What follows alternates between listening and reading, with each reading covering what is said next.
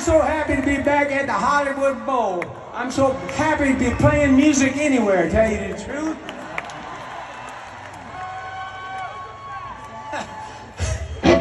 Or about that, we are here to have a good rockin' time, so let's get going.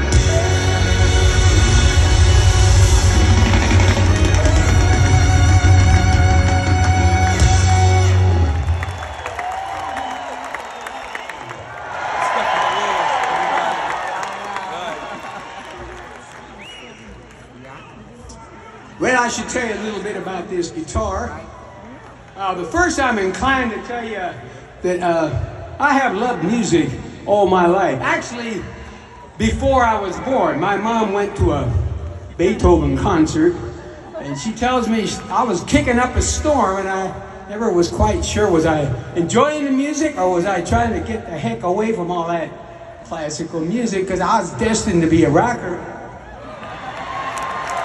Well, my mother knew Beethoven, you know, so in fact, it was at the very first Hollywood Bowl uh, show. All right. But we are going to delve into the past. I'll tell you a little bit about this guitar. This is a Rickenbacker guitar that I purchased way back in the first week of 1969. Uh, 1968 had been a great year for me and my band Creedence. We'd had a song called Susie Q. And so I, unlike Beethoven, I found myself in that wonderful category known as a one hit wonder! And that scared the heck out of me. And I thought, well, you better get busy and do something, you know, creative. And maybe you can have a career in music for a couple of months or something. So I bought this guitar and I made a bunch of modifications. Uh, won't bore you with all of that, but the most important thing was I put a humbucking pickup from a Gibson guitar right there in the bridge. And I did that because I'd heard about these fellas over in England uh, named Jimmy, Jeff, and Eric. And they were all plugging their Gibson Les Paul guitars into Marshall amps and making the coolest sound ever made in rock and roll. And I wanted some of that, so I put that pickup there. I, I did that about a decade before Eddie Van Halen did the same thing on his guitar. Well, anyway, I played this uh, guitar on all kinds of songs, like Down on the Corner and Green River and Up Around the Bend and all that. Heck, I played this guitar at Woodstock!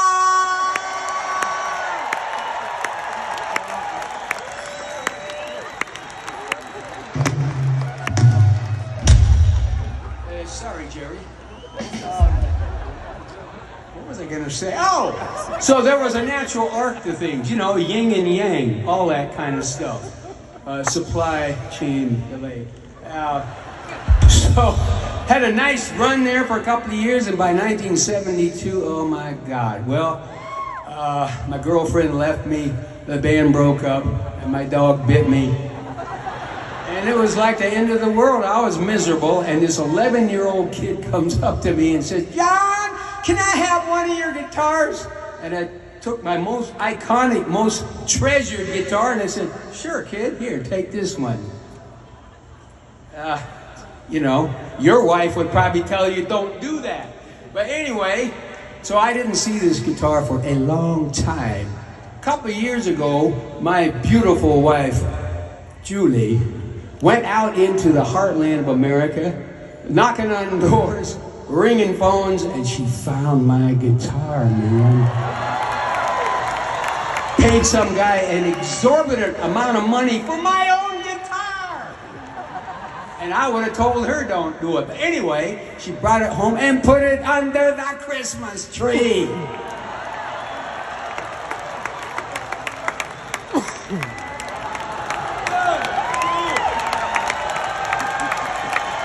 That's actually a real photo. I didn't stage. Uh, check out the jammy pants. Come on.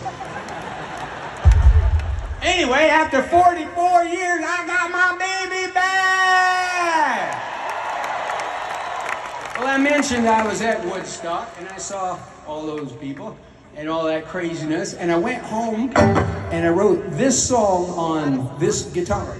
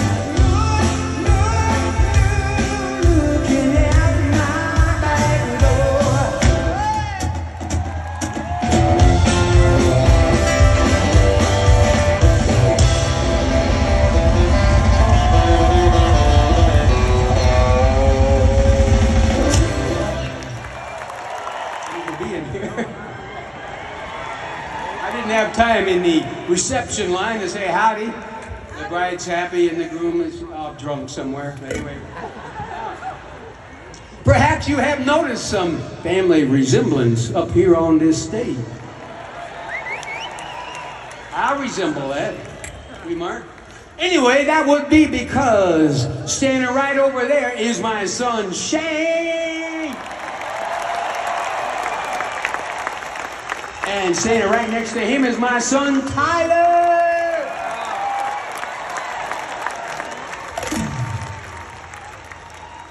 Thank you so much. Oh, and back there in the shadows is my beautiful wife, Julie. Come on, give her a hand, because you all know I wouldn't be standing here if it weren't for Julie. Also, our daughter Lindsay and granddaughter Via are back there. We have some wonderful family news to share because quite recently, Shane got married to his beautiful bride, Lacey. And Tracy's here too. Just goes on and on, you know. Now, let's see. I married my beautiful bride about 31 years ago. That would be Julie. And somewhere after that, I wrote a love song, my one and only love song uh, for Julie. I'd like to play it for y'all right now.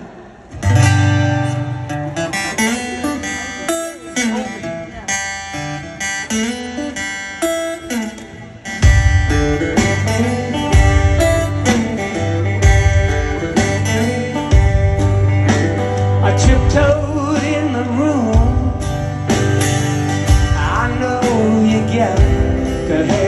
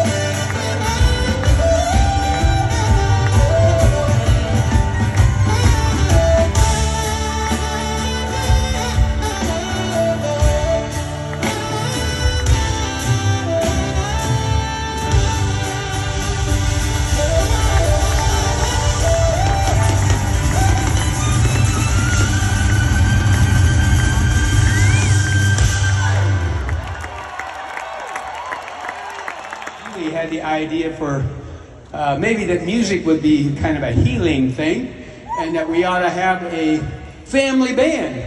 This was really Julie's idea.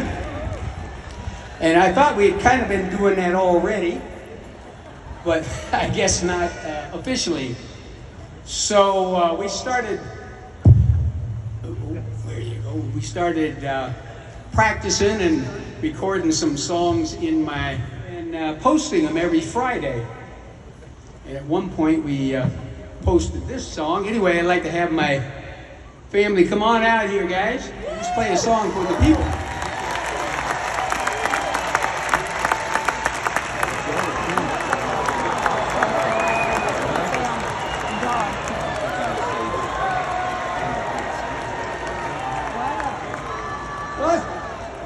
That is Creedy. Creedy, short for Creedence.